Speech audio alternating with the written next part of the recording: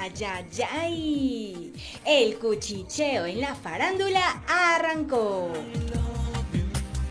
Nos encontramos con dos de los integrantes de Papá Changó, y es que en plena comilón estaban. Ellos afirman estos cangrejitos tienen bastante poder.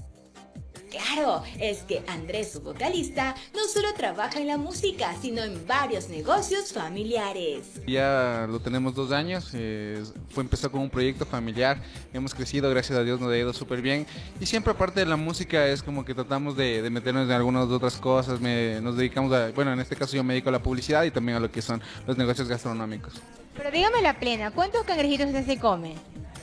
Bueno, ahorita con el tiempo ya no tengo mucho mucha chance de, bajar a comer cangrejos. Yo creo que al principio le...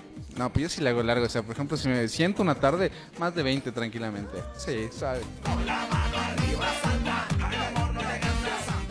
Papá Chango prepara el lanzamiento de su nuevo álbum. En el 2016 básicamente nos dimos como que un stand-by, hemos estado un poquito de vacaciones, cada uno dedicándose mucho a sus proyectos personales. Y en el 2017 eh, se nos abrieron muchas puertas, eh, estamos preparando todo lo que es el nuevo proyecto de Papá Chango, la nueva música, nuevos videos. Eh, y en este caso vamos a trabajar con un productor internacional también, lo traemos acá a Ecuador para que trabaje con nosotros. Y no solamente entrar en el mercado ecuatoriano, sino desde ahora en adelante todos nuestros promos se van a manejar en Ecuador y Colombia al mismo tiempo. Pero lo que sí les puedo adelantar es que los temas están súper chéveres.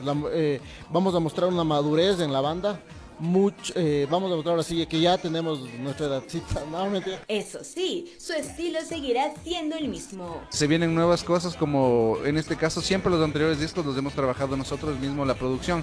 En este caso por eso traemos una persona de, de afuera, es justamente, no podemos dar el nombre porque es una sorpresa, pero es un ganador de Grammy, o sea, es una persona súper importante musicalmente en todo lo que es Latinoamérica. Así que estés en pendiente de nuestras redes sociales, Papá Chango Music, en Instagram, Facebook, Twitter, todo lo que puedan. Pilas. Porque el talento nacional siempre se hace presente. Mueve tu cintura, ritmo de mi baile, mírame negrita que se siente reggae en el aire. Y quiero que lo sientas, quiero que te muevas, quiero yo perderme compás de tu